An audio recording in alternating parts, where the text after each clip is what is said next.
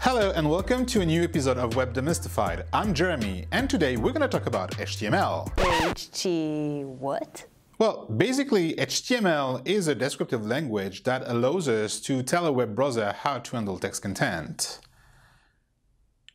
And uh, it doesn't really make any sense, does it? Nope. Okay, we'd better get into some details.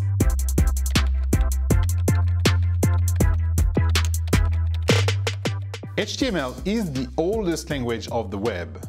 Even though it took a few years to be formally defined, the very first web page created by Tim Berners-Lee was already using a proto-HTML. And if you're curious about it, that page is still online. If you are interested in the history of HTML, Wikipedia is definitely your friend. Here, we're gonna focus on the technical side of things. HTML is an acronym standing for Hypertext Markup Language.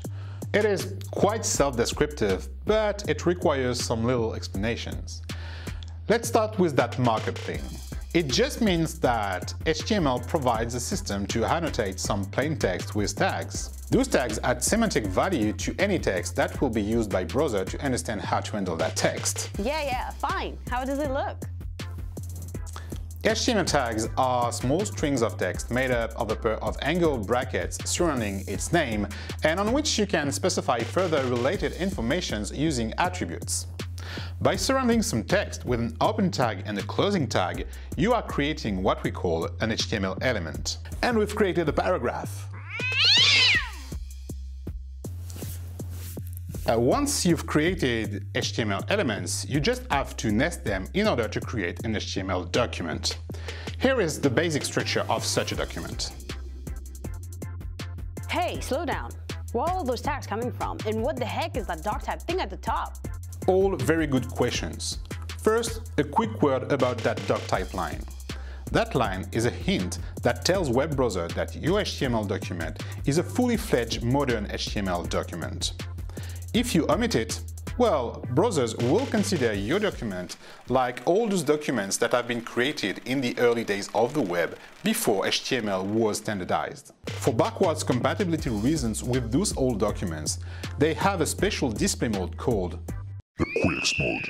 This display mode is, well, quirky. To make it short, every browser has a different quirks mode for historical reason meaning you can face different behaviors from one browser to the other. Yeah, more than usual. So, unless you're looking for trouble or know exactly what you're doing, you should avoid that display mode. In clear, just add that doc type line at the top and don't worry about it. If you're not afraid of a headache, you can read more in here.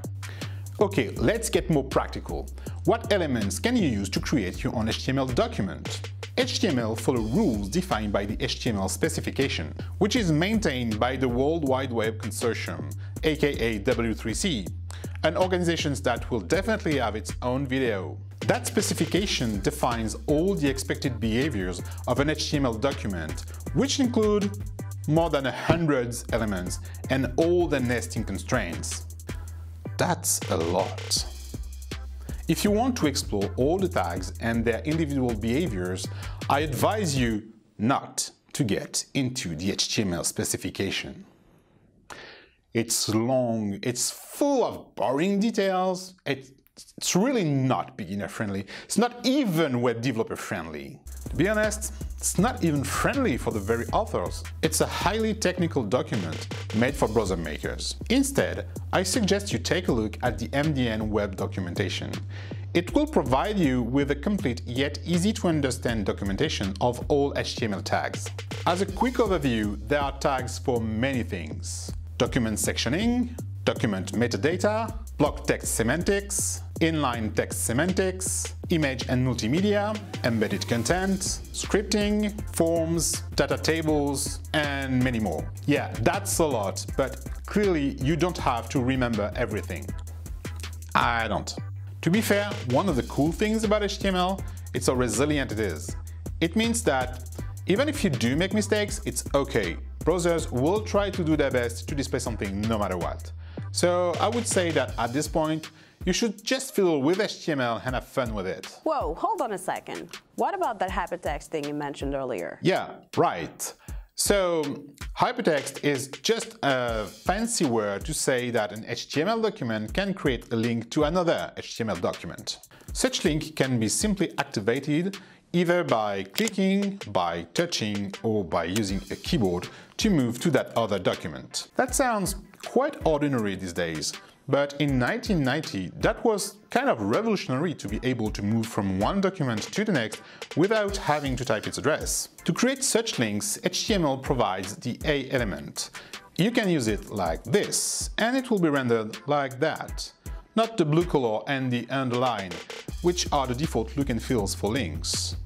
Now, if you click on it, your browser will load the document available at the address provided by the href attribute. And, um, well, that's all the knowledge you need to know to start understanding HTML. Okay, let's recap. HTML is a markup language that allows to structure a text in order to make it understandable by web browsers. That HTML markup is made of elements formed by tags put around text. All valid HTML elements and their nesting rules are defined in a specification maintained by the W3C. Yeah, it's that simple. Frankly, HTML alone is a bit dull. We definitely need something else to make it pretty. You know what? Next up, we'll talk about CSS. Thank you all for watching this video. If you want to learn more and start fiddling with HTML, I highly suggest that you have a look at the Learn section of MDN. In the meantime, if you enjoyed that episode, feel free to like it and to share it with your friends. Spreading knowledge will definitely fill up your camera tank.